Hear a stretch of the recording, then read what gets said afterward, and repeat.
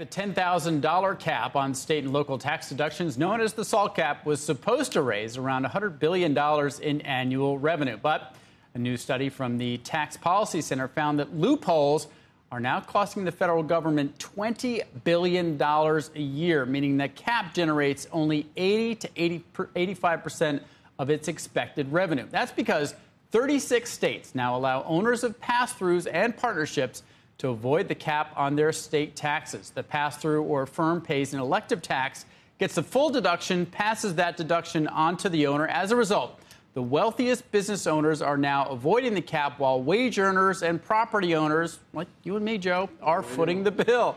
Joining us to discuss is Erica York, senior economist at the Tax Foundation, and Jason Furman, former chairman of the Council of Economic Advisors under President Obama.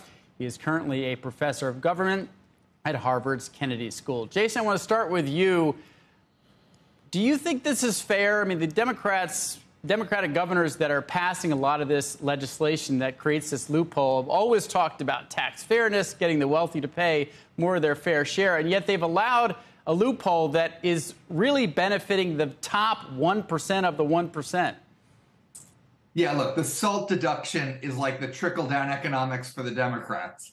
Um, they argue that if they do this tax cut, they'll be able to sustain a better revenue base, be able to sustain better schools, um, and the evidence for that is really quite um, limited. So I don't love that they're opening up these loopholes. And frankly, I think when policymakers passed this tax reform to begin with, I think they knew some of those loopholes were there and weren't particularly preemptive in getting rid of them. Well, they definitely knew they were there. I mean, the Treasury Department under uh, President Trump and Secretary Mnuchin basically blessed this, saying, well, all the other workarounds are not okay. These workarounds are okay. The Biden administration said they were going to propose legislation or regulations clarifying it, and they haven't yet. What do you think is the best ultimate solution? This is going to expire, this SALT cap, at the end of 2025, along with all the individual provisions of the Tax Act that was passed in 2017. What do you think the best solution will be as to this salt cap? Should it be extended? Should it be killed? Look, I would love to see the salt cap. Oh, are you asking me or? Yeah, Jason, you first, and then I want okay, to get great. to Erica. Um, yeah. I'd love to see the salt cap um, extended as it is. If they want to tighten it up further, that's great with me. Um, I think the bigger set of debates in 2025 is that taxes as a whole will be set to go up by nearly 1% of GDP. I think that's our best shot we have in the next couple of years at very significant deficit reduction in a country where the deficit's risen quite a lot um, recently. And so policymakers, I think ideally will have to thread a needle where they let tax revenue go up, but maybe they do it by some type of permanent tax reform rather than the type of temporary patches that were passed in 2017.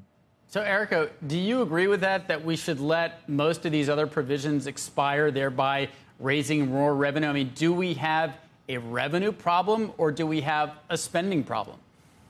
Yeah, if, if you look at the CBO's budget outlook, it, it's obvious that spending is what is driving our, our growing deficits and our growing debts. Spending is going to be above trend, while revenues are roughly at trend.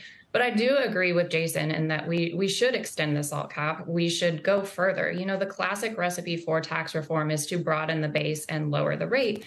And TCJA followed that recipe to some extent. I think in 2025, lawmakers need to follow that recipe a bit more closely and go further with the base broadeners, get rid of salt, explicitly disallow these workarounds, and use that revenue to pay for, on a revenue neutral basis, improvements in the tax system. Because we want a tax system that points toward economic growth, that incentivizes work, incentivizes investment. That's going to help us um, grow. That that helps with the debt to GDP issue, and you can do it on a revenue neutral basis through these base broadeners. So you think we should not only keep the cap, but actually get rid of the 10,000 and just just be zeroed out so that none of your state local tax deduct- deductions could be applied to your taxes, including property taxes? I, I, do. I think that is a good policy trade. Politically, that's a tough sell. But it, it, goes in the direction of tax reform. You you broaden the base and you use that to pay for rate reductions for everyone. At the end of the day, that that results in a, a more simple tax code, a more efficient tax code. It lets state and local tax policy be decided at the state and local level, and it lets federal tax policy be decided at the federal level. And Jason, if we let all these provisions expire as scheduled at the end of 2025, you're talking about basically the standard deduction being cut in half. You're talking about raising all of the marginal rates, including on middle middle class income taxpayers, and you know changing the trust of the estate tax so where that exemption would be cut in half. Do you think that's going to be palatable for either party to have a tax increase for everyone across the board, especially given that the economy in 2025, at least as we're seeing it now, is likely not going to be very strong? Look, I don't think the tax code should go back to where it was in 2016. What I think should go back to that is the revenue level um, that we have. But how do you and, get there, though? So where does that come from? Look, ideally, you'd sit down and say, here's the revenue level that we need to hit. What's the best way to hit that level? And I agree that level, hitting that level with a broader base, with lower rates, with a larger standard deduction would be exactly the way to do it uh, we may have divided government when all of this happens. And then it'll be a little bit like a game of chicken.